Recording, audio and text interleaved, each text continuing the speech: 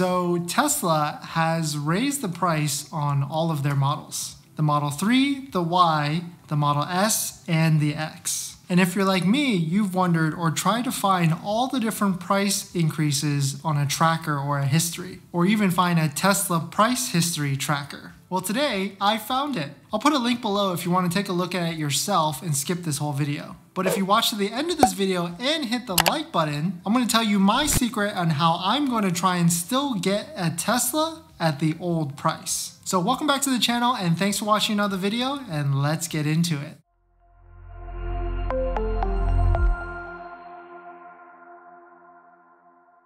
Welcome back to another video. If you're new here, my name is Dennis. I used to have a Tesla and I'm probably gonna get another one. I usually make videos about Tesla buying tips and personal finance as well. So if you're interested in any of that, please hit that subscribe. So here is the spreadsheet. You can see there's a ton of data and each of the models are actually separated. The current Model S started at 79,990 and is now 99,990 for the long range model, which is a $20,000 increase. The Model S Plaid started at $120,000 basically and it's now $136,000 or a $16,000 increase. I'm only going to go through models that are currently available now so we can see the increases in price from when it came out to how it is now. The Model 3 standard range actually started at $37,000 in 2019 and it's now $47,000 which is a $10,000 increase. There's actually a Model 3 that actually is a better deal now than it was when it came out, but it's not the Model 3 long range. The Model 3 long range all-wheel drive started at $54,000 in 2018, actually went down throughout 2019 2019 and 2020, it came up a little bit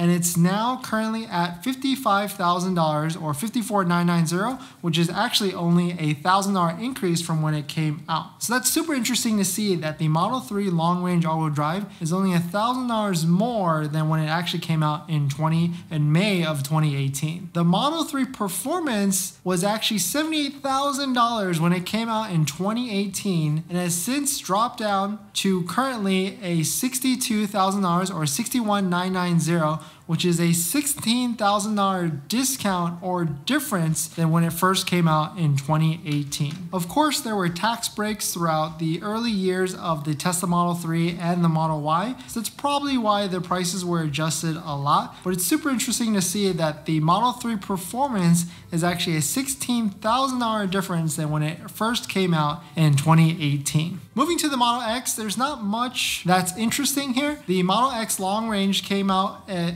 at a starting price of $99,500 in 2018, and it's now $115,000 or a $15,500 difference. The Model X Plaid was $140,000 in 2018, and it's now $139,000, which is a $1,000 decrease in initial price. And lastly, the Model Y long range and performance. The Model Y long range was $51,000 when it was initially released in 2019, and now it's $63,000, which is a $11,000 price increase. This just really just shows how in demand the Model Y is as a crossover in the segment, and there's tons of demand for these type of vehicles in the current market, and the price actually just reflects that. The Model Y performance was $60,000 in 2019, and it's now 67,990 or $68,000, which is a $8,000 price increase from 2019, which is just insane for how much it is. If you look at it this way, the Model 3 performance is actually the slickest deal with a $16,000 difference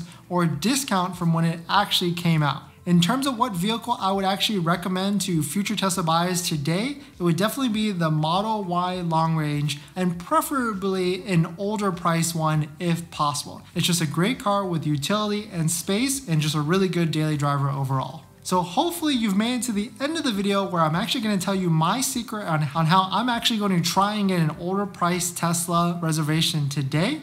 How you can do that is you can actually go onto the Tesla forums or like the Tesla Motors Club or even Facebook groups, you'll probably have a better chance. You can actually find people that try and post their existing reservations with hopefully order prices and you can hopefully try and swap the reservation into your name. I'll make another video that goes into the three different steps or the three different scenarios on how that's actually possible. So definitely hit that subscribe if you're interested in learning about that. There definitely are older Tesla reservation holders that are trying to get out that are out there. They do pop up from time to time, so definitely you'll have to be patient as it's not going to as you're not going to find one right away. But yeah, these are all the different price increases from the beginning, and I'll paste a link below to the spreadsheet that goes through all of them. If you enjoyed this video, please hit that like and subscribe, and comment below if you have any questions on Tesla buying or Tesla financing. I'd love to hear your guys' thoughts. Alright guys, thanks for watching this video, and I'll see you guys in the next one. See ya!